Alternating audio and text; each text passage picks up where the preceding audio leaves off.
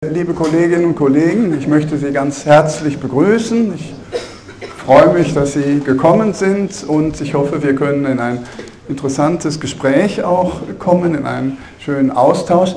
Ich wollte das in zwei Teile teilen, meinen Vortrag. Den ersten, den größeren Teil, wollte ich etwas über Körperempathie äh, sagen. Der Körper als empathisches Organ sozusagen, sowohl als Empfänger, empathischer Empfänger, aber auch als Sender. Im zweiten, kürzeren Teil wollte ich etwas über äh, das Verstehen so allgemein sagen, über das, was wir dann äh, sozusagen die Körpersprache interpretierend äh, zu verstehen suchen.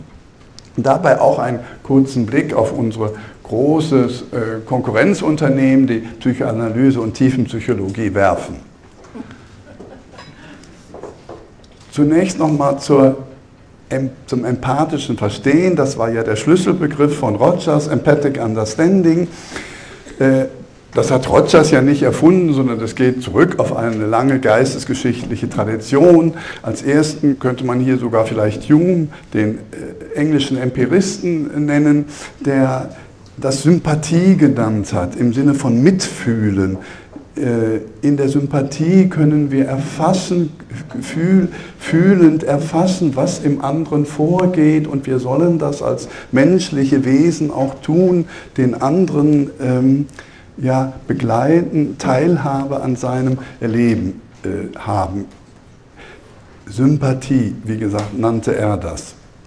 Dieses was Schleiermacher dann Anfang des 19. Jahrhunderts formulierte, dass es bei diesem einfühlenden Verstehen darauf ankommt, sich gleichsam in den anderen zu verwandeln, das äh, deutet sich auch bei Hume schon an.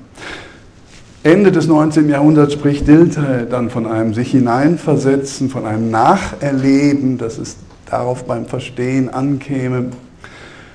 Lips, der dann den Einfühlungsbegriff einführte, sprach von, auch von einem inneren Mitmachen, das Einfühlen, das Nacherleben, auch im Sinn, das dann in verschiedenen Versionen immer wieder ausgedrückt, dass es darauf ankäme, äh, die Welt des Klienten mit dessen Augen zu sehen, in die Haut des Klienten zu schlüpfen, die Welt, die innere Welt des Patienten so zu sehen, als wäre sie die eigene.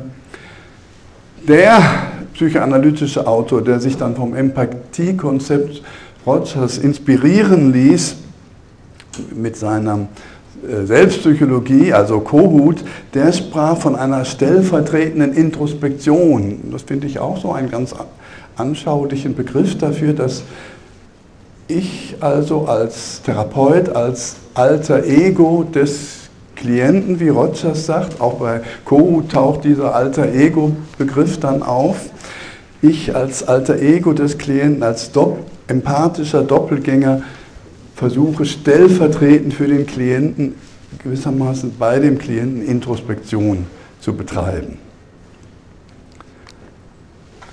Jetzt zurück nochmal die Quellen der Empathie. Wie sind wir überhaupt fähig dazu, uns so einzufühlen, so äh, Empathie vollziehen zu können? Da haben wir zunächst die eben körpersprachlich vermittelte Empathie, wo der Körper als ja, Resonanzraum, der empfängt und gleich sendet, äh, auf den anderen bezogen ist.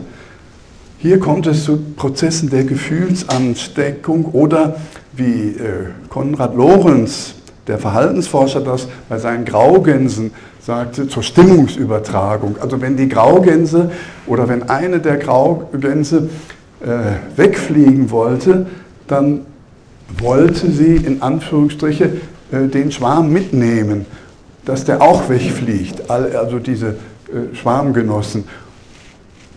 Sie fing dann an, zu, mit den Flügeln zu schlagen, bestimmte Rufe auszustoßen und das induzierte in den anderen die gleiche Stimmung, die gleiche, äh, das gleiche Wegfliegerleben. Dieses, dieser Ausdruck, dieser körperliche Ausdruck, Flügel schlagen, äh, bestimmte Rufe ausstoßen, äh, kommt dann dazu, dass dann plötzlich alle gleichsam zur gleichen Zeit wegfliegen. Das ist also diese äh, Gefühlsansteckung, diese Stimmungsübertragung hat die wichtige Funktion der Koordinierung von Individuen, die gesellig leben, die in einem Schwarm zusammenleben. Hier ist noch keine selbst andere Unterscheidung, die ganz will gar nicht, hat nicht die, die, Intention, die bewusste Intention, die anderen zum Mitfliegen zu bewegen. Höchstwahrscheinlich nicht, das ist ja sehr schwierig zu sagen, sondern in ihr ist diese Stimmung, sie drückt die Stimmung ins, instinktiv aus und das löst in anderen die gleiche Stimmung auf. Solche Stimmungsübertragung können wir ja auch bei Menschen erleben, etwa auf dem Fußballplatz, wenn der Fanblock äh, plötzlich äh, Anfeuerungsrufe äh, sehr lautstark kundgibt und so, dann reißt das die anderen äh, Fans auch mit, äh, gleiche Rufe etwa auszustoßen.